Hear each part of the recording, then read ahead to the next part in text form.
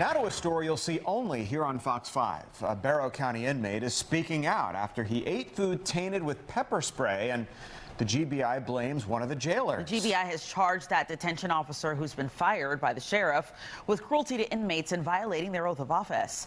As Fox 5's Angelique Proctor tells us, the inmate has hired an attorney and is fighting back. The inmate says he and five other prisoners immediately got sick and had to get medical attention from the jail. Excruciating pain is like somebody, it's even hard to explain. Like, I don't even wish this experience on my worst enemy. Inmate Brantavious Sims says ingesting pepper spray during his jailhouse breakfast last month was a horrific experience. The 20 year old says he is flabbergasted that veteran jailer Lolita Leitner has been arrested by the GBI for the stunt. Barrow County jail officials would not allow us to talk to Sims behind bars, but he talked to his attorney, Jackie, the fly lawyer Patterson, who recorded the conversation.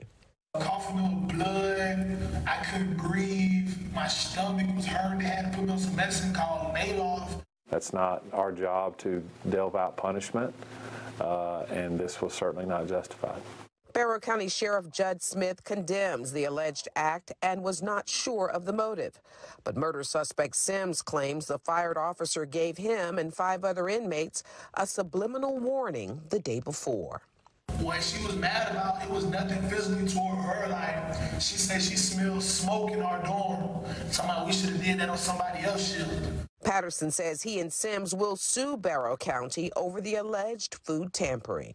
We do plan to sue this county. No question that we're going to send out an ante-litem notice. We're asking for $2 million. And if they don't pay this within the 30 days as required by law, we're going to put extra zeros on it and we're going to file a lawsuit for $20 million. I asked Attorney Patterson how he could justify $20 million for this incident. He then told me you can't put a price on pain.